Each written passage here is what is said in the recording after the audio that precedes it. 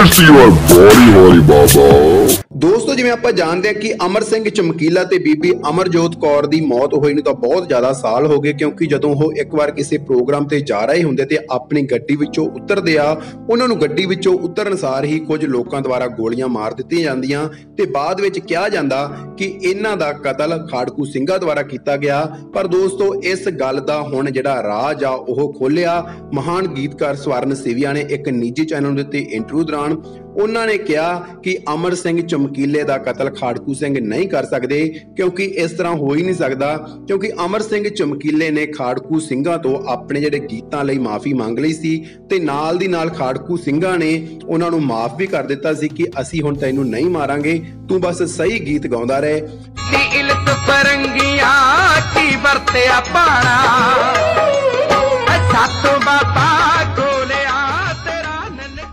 ਸੋ ਸਵਰਨ ਸਿੰਘ ਸੀਵੀਆ ਦਾ ਕਹਿਣਾ ਕਿ ਉਹਨਾਂ ਦੀ ਮੌਤ ਪਿੱਛੇ ਕੁਝ ਹੋਰ ਬੰਦਿਆਂ ਦਾ ਹੱਥ ਆ, ਜਿਨ੍ਹਾਂ ਤੇ ਸਾਨੂੰ ਸ਼ੱਕ ਵੀ ਹੈਗਾ। ਤੇ ਮੈਂ ਉਸ ਦੀ ਪੂਰੀ ਤਰ੍ਹਾਂ ਇਨਵੈਸਟੀਗੇਸ਼ਨ ਕਰ ਰਿਹਾ। ਜਦੋਂ ਮੇਰੀ ਇਨਵੈਸਟੀਗੇਸ਼ਨ ਕਲੀਅਰ ਹੋ ਜੂਗੀ, ਤਾਂ ਮੈਂ ਉਸ ਤੇ ਇੱਕ ਬੁੱਕ ਵੀ ਲਿਖੂੰਗਾ ਤੇ ਦੱਸੂੰਗਾ ਕਿ ਅਮਰ ਸਿੰਘ ਚਮਕੀਲਾ ਤੇ ਬੀਬੀ ਅਮਰਜੋਤ ਕੌਰ ਦਾ ਕਿਸ ਨੇ ਕਤਲ ਕੀਤਾ। ਗੀਤਕਾਰ ਸਵਰਨ ਸਿੰਘ ਸਿਵਿਆ ਜੀ ਦਾ ਕਹਿਣਾ ਕਿ ਮੈਨੂੰ ਇਸ ਗੱਲ ਦਾ ਬਹੁਤ ਵੱਡਾ ਸ਼ੱਕ ਆ ਕਿ ਅਮਰ ਸਿੰਘ ਚਮਕੀਲਾ ਤੇ ਬੀਬੀ ਅਮਰਜੋਤ ਦਾ ਕਤਲ ਉਸ ਸਮੇਂ ਲੋਕਾਂ ਨੇ ਕੁਝ ਪਹਾੜੇ ਦੇ ਟੱਟੂਆਂ ਤੋਂ ਕਰਵਾਇਆ, ਕਿਉਂਕਿ ਇਸ ਤਰ੍ਹਾਂ ਉਸ ਸਮੇਂ ਬਹੁਤ ਜ਼ਿਆਦਾ ਕਤਲ ਹੋਏ, ਜਿਨ੍ਹਾਂ ਨੇ ਆਪਣੀਆਂ ਜੈਲਸੀ ਆਪਣੀਆਂ ਦੁਸ਼ਮਣੀਆਂ ਕੱਢੀਆਂ, ਕਿਉਂਕਿ ਅਮਰ ਸਿੰਘ ਚਮਕੀਲਾ ਉਸ ਸਮੇਂ ਇੰਨਾ ਜ਼ਿਆਦਾ ਫੇਮਸ ਹੋ ਚੁੱਕਿਆ ਸੀ, ਇੰਨੇ ਕੁ ਜ਼ਿਆਦਾ ਉਸ ਦੇ ਸ਼ੋਜ਼ ਹੁੰਦੇ ਸੀ ਕਿ ਬਹੁਤ ਸਾਰੇ ਜਿਹੜੇ ਹੋਰ ਕਲਾਕਾਰ ਆ ਉਹ ਵਿਹਲੇ ਹੋ ਗਏ ਸੀ ਤੇ ਨਾਲ ਦੀ ਨਾਲ ਉਸ ਸਮੇਂ ਕਿਹਾ ਜਾਂਦਾ ਕਿ ਅਮਰ ਸਿੰਘ ਚਮਕੀਲੇ ਤੋਂ ਉਹ ਲੋਕ ਜੈਲਸੀ ਵੀ ਕਰਨ ਲੱਗ ਪਏ ਸੀ, ਜਿਨ੍ਹਾਂ ਨੂੰ ਅਮਰ ਸਿੰਘ ਚਮਕੀਲੇ ਨੇ ਵਿਹਲਾ ਕਰ ਦਿੱਤਾ ਸੀ। ਕਿਉਂਕਿ ਇੰਨੇ ਕਿ ਸ਼ੋਜ਼ ਉਹਨਾਂ ਨੇ ਉਸ ਸਮੇਂ ਲਾਏ ਕਿ ਹਰ ਇੱਕ ਬੰਦਾ ਦੇਖਣ ਵਾਲਾ ਹੈਰਾਨ ਰਹਿ ਜਾਂਦਾ ਸੀ ਕਿ ਇਸ ਤਰ੍ਹਾਂ ਇਸ ਦੇ ਇੰਨੇ ਸ਼ੋਅ ਕਿਵੇਂ ਲੱਗ ਰਹੇ ਆ।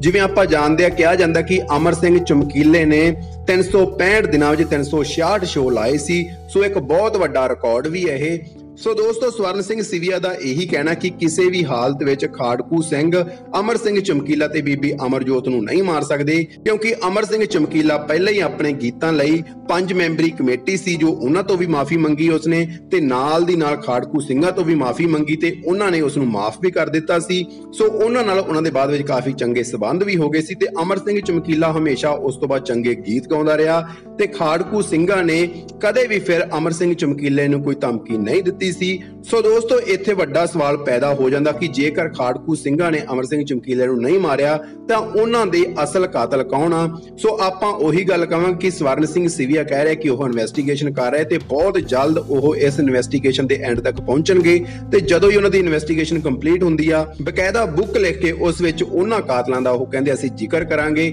ਤੇ ਸਵਰਨ ਸਿੰਘ ਸੀਵੀਆ ਕਹਿੰਦੇ ਕਿ ਇਹੀ ਮੇਰੇ ਜੀਵਨ ਦਾ ਮਨੋਰਥ ਵੀ ਆ ਕਿਉਂਕਿ ਮੈਂ ਅਮਰ ਸਿੰਘ ਚਮਕੀਲੇ ਨਾਲ ਬਹੁਤ ਹੀ ਜ਼ਿਆਦਾ ਸਮਾਂ ਕੱਢਿਆ ਤੇ ਉਸ ਨਾਲ ਮੇਰਾ ਬਹੁਤ ਜ਼ਿਆਦਾ ਪਿਆਰ ਸੀ। ਸੋ ਦੋਸਤੋ, ਆਪਾਂ ਨੂੰ ਉਮੀਦ ਆ ਕਿ ਸਵਰਨ ਸਿੰਘ ਸੀਵੀਆ ਜਲਦੀ ਹੀ ਕਿਸੇ ਨਤੀਜੇ ਤੇ ਪਹੁੰਚਣਗੇ ਤੇ ਜਿੰਨੇ ਵੀ ਅਮਰ ਸਿੰਘ ਚਮਕੀਲਾ ਦੇ ਫੈਨਸ ਆ, ਉਹਨਾਂ ਨੂੰ ਇਸ ਚੀਜ਼ ਦੀ ਵੇਟ ਰਹੂਗੀ ਕਿ ਆਖਰ ਇੰਨੇ ਵਧੀਆ ਕਲਾਕਾਰ ਨੂੰ ਕਿਸ ਨੇ ਮਾਰਿਆ, ਕੀ ਕਾਰਨ ਸੀ। ਸੋ ਦੋਸਤੋ, ਜਿੰਨੇ ਵੀ ਅਮਰ ਸਿੰਘ ਚਮਕੀਲਾ ਜੀ ਦੇ ਫੈਨ ਆ, ਮੈਂ ਤੁਹਾਨੂੰ ਕਹੂੰਗਾ ਕਿ ਇਸ ਵੀਡੀਓ ਨੂੰ ਲਾਈਕ ਜ਼ਰੂਰ ਕਰੋ ਤੇ ਨਾਲ ਦੀ ਨਾਲ ਤੁਹਾਡੀ ਕੀ ਰਾਏ ਹੈ ਕਿ ਆਖਰ ਅਮਰ ਸਿੰਘ ਚਮਕੀਲਾ ਤੇ ਬੀਬੀ ਅਮਰਜੋਤ ਕੌਰ ਨੂੰ ਕੌਣ ਮਾਰ ਸਕਦਾ, ਕਿਸ ਦੀ ਸਾਜ਼ਿਸ਼ ਹੋ ਸਕਦੀ ਹੈ। ਸੋ ਤੁਸੀਂ ਇਸ ਵੀਡੀਓ ਹੇਠਾਂ ਆਪਣੀ ਰਾਏ ਜ਼ਰੂਰ ਦੇਣੀ ਆ ਤੇ ਨਾਲ ਦੀ ਨਾਲ ਇਸ ਵੀਡੀਓ ਨੂੰ ਆਪਣੇ ਸਾਰੇ ਦੋਸਤ ਮਿੱਤਰਾਂ ਨਾਲ ਜ਼ਰੂਰ ਸ਼ੇਅਰ ਕਰ ਦਿਓ ਤਾਂ ਜੋ ਉਹਨਾਂ ਨੂੰ ਵੀ ਇਸ ਸਟੋਰੀ ਬਾਰੇ ਪਤਾ ਲੱਗ ਸਕੇ। ਤੇ ਹੋਰ ਤਾਜ਼ਾ ਅਪਡੇਟਸ ਲਈ ਆਪਣੇ ਚੈਨਲ ਨੂੰ ਜ਼ਰੂਰ ਸਬਸਕ੍ਰਾਈਬ ਕਰ ਲਓ ਤੇ ਨਾਲ ਆ ਰਹੇ ਬੈਲ ਦੇ ਬਟਨ ਤੇ ਕਲਿੱਕ ਕਰ ਦਿਓ ਤਾਂ ਜੋ ਆਪਣੀ ਹਰ ਇੱਕ ਵੀਡੀਓ ਤੁਹਾਡੇ ਤੱਕ ਸਭ ਤੋਂ ਪਹਿਲਾਂ ਪਹੁੰਚ ਸਕੇ।